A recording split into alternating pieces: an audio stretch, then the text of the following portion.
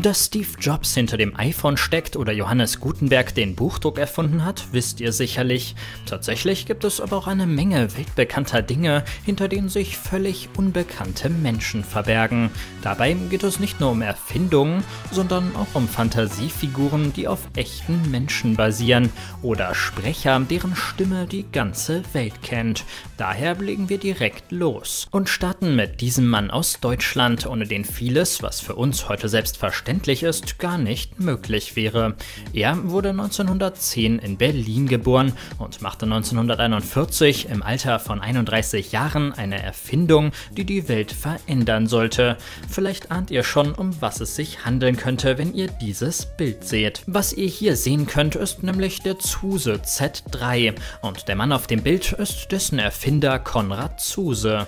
Der Zuse Z3 war tatsächlich der erste funktionsfähige Computer der Welt überhaupt. Er konnte nicht nur Rechenaufgaben lösen, sondern beispielsweise auch Verwandtschaftsbeziehungen zwischen Menschen berechnen und mehrere Prozesse gleichzeitig durchführen. Auch wenn die Funktionen des mehr als eine Tonne schweren Computers heute von jedem Smartphone locker geschlagen werden, war er damals eine echte Revolution. Konrad Zuse entwickelte seinen Computer im Laufe der Jahre immer weiter und baute neue Modelle, die immer mehr konnten. Auch wenn amerikanische Firmen und Unternehmer wie Bill Gates den Computer erst zu einem Gerät machten, das für Millionen Menschen nützlich wurde, war es Zuse, der als Pionier dafür den Grundstein legte.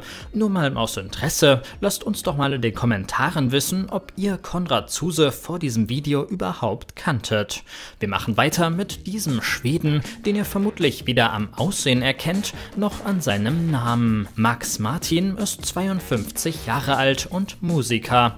Aber nicht irgendein Musiker, ist ohne zu übertreiben der wohl bedeutendste Musiker des 21. Jahrhunderts, aber auf eine sehr ungewöhnliche Weise. Max Martin ist nämlich Musikproduzent und Songwriter, der selber keine Lieder singt oder veröffentlicht, aber viele Songs für andere weltberühmte Musiker komponiert. Falls ihr euch das nicht vorstellen könnt, möchten wir euch nun einfach mal ein paar Bands und Künstler präsentieren, hinter deren Erfolg eigentlich der unbekannte Schwede steckt. Fangen wir mit den 90er Jahren an. Hier war Max Martin unter anderem für Quit Playing Games with My Heart und Everybody von den Backstreet Boys oder auch für Britney Spears Welthits Baby One More Time oder Oops I Did It Again verantwortlich. In den 2000ern schrieb und produzierte er die Erfolgsalben von Stars wie Pink, Bon Jovi, James Blunt oder Avril Lavigne. Und in den 2010ern Jahren sind auch fast alle Charthits eigentlich von ihm. So hat er die Songs Raw von Katy Perry, Blank Space und Shake It Off von Taylor Swift oder Blinding Lights von The Weeknd weitestgehend alleine entwickelt. Weltweit wurden seine Songs über 100 Milliarden Mal gestreamt. Und falls ihr jetzt denkt, Max Martin ist finanziell dabei schlechter weggekommen als die Musiker, die seine Musik sangen, das ist auch nicht ganz wahr. Max Martins Vermögen wird nämlich auf fast eine halbe Milliarde Dollar geschätzt. Kommen wir nun zu diesem Mann, den ihr schon auf dem Thumbnail gesehen habt. Auch wenn das Bild auf den ersten Blick gefotoshoppt aussehen mag, ist es das tatsächlich nicht. Maurice Tillet, dessen Aussehen als Vorbild für die Figur Shrek aus dem gleichnamigen Film diente, lebte nämlich wirklich. Und die Ähnlichkeit mit dem weltberühmten Oger ist mehr als offensichtlich. Auch wenn der echte Shrek heute völlig unbekannt ist, war er in den 1940er Jahren tatsächlich selbst mal berühmt.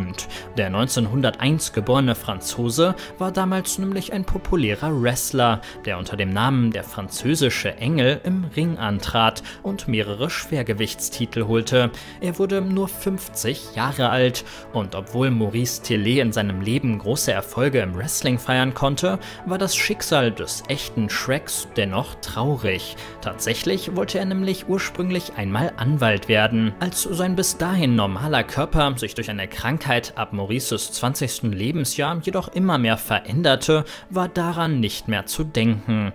Sein Kopf sowie seine Hände und Füße schwollen durch einen Überschuss an Wachstumshormonen auf unnatürliche Größe an. Seine Stimme wurde sehr tief und schon bald wirkte Maurices Aussehen so abschreckend auf seine Mitmenschen, dass sie ihm aus dem Weg gingen. Maurice machte aber das Beste aus seiner Situation und mimte für den Rest seines Lebens den Böse Bösewicht im Wrestlingring. Weiter geht's mit einer Figur, die ihr alle kennt. Richtig, das ist der Colonel vom KFC-Logo.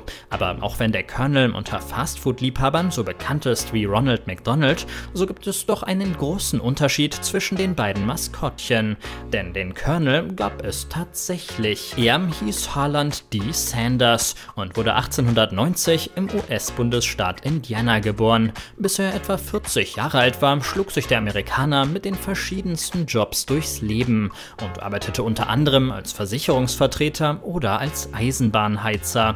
Als er 1930 in einer Tankstelle in Kentucky arbeitete, fing er jedoch nebenbei damit an, den Kunden auch Hühnchen nach eigenem Rezept zu servieren.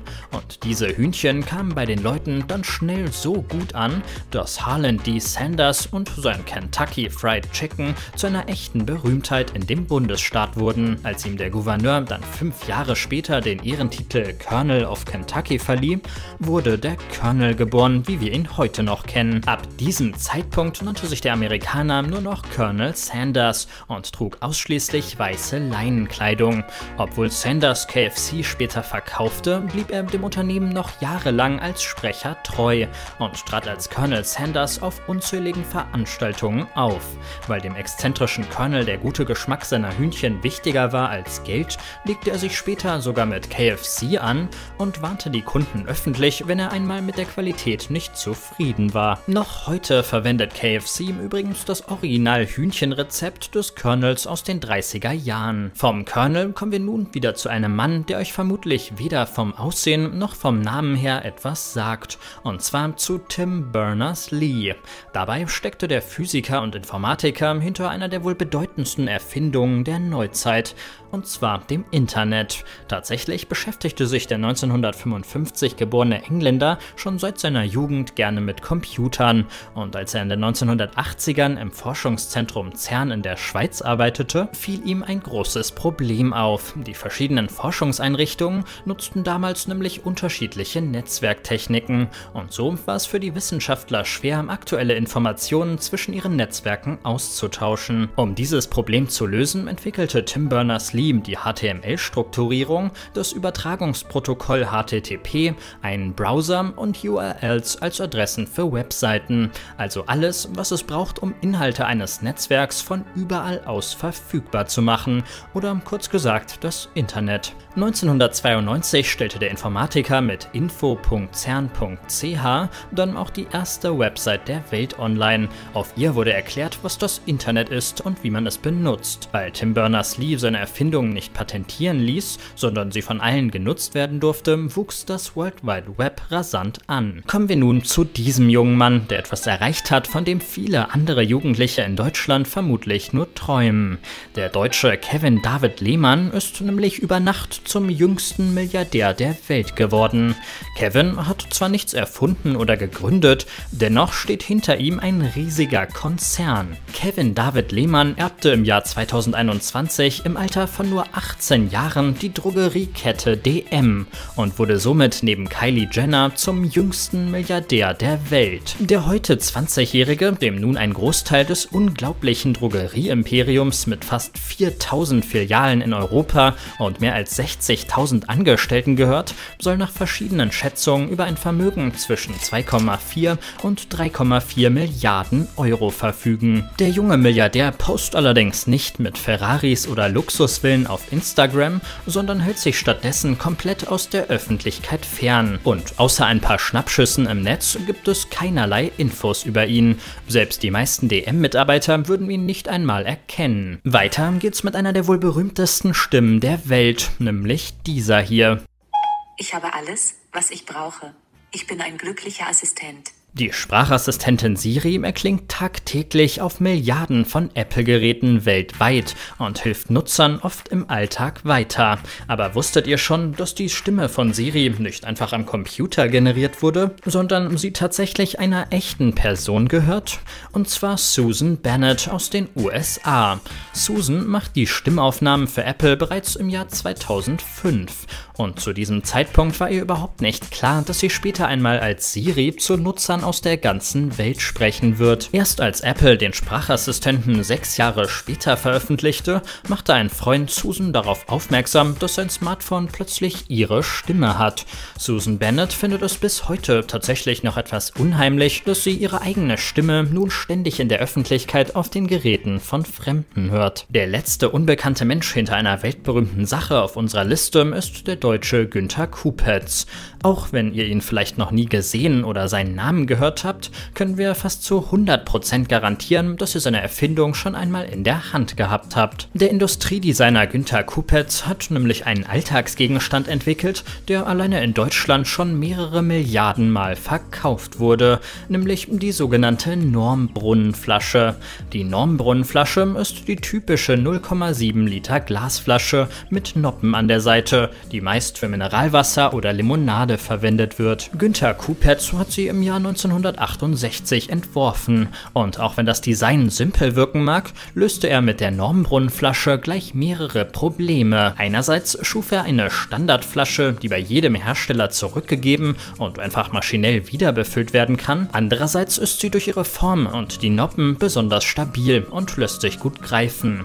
Die Größe von 0,7 Litern sorgt dafür, dass der kohlensäurehaltige Inhalt auch zum Schluss nicht abgestanden schmeckt und der Schraubverschluss macht sie komfortabler als Wasserflaschen mit anderen Verschlüssen, die es vorher gab. Obwohl die Normbrunnenflasche mittlerweile so oft verkauft wurde, dass alle Exemplare aufeinander gestapelt weiter als bis zum Mond reichen würden, hatte der Erfinder von seinem Design finanziell übrigens nichts. Er arbeitete später als Professor für Produktdesign und verstarb 2018 schließlich im Alter von 92 Jahren. Wenn euch dieses Video gefallen hat, seht euch unbedingt auch unser Video über die außergewöhnlichsten Materialien der Welt an. Ansonsten sehen wir uns dann das nächste Mal hier bei Wissenswert. Macht's gut!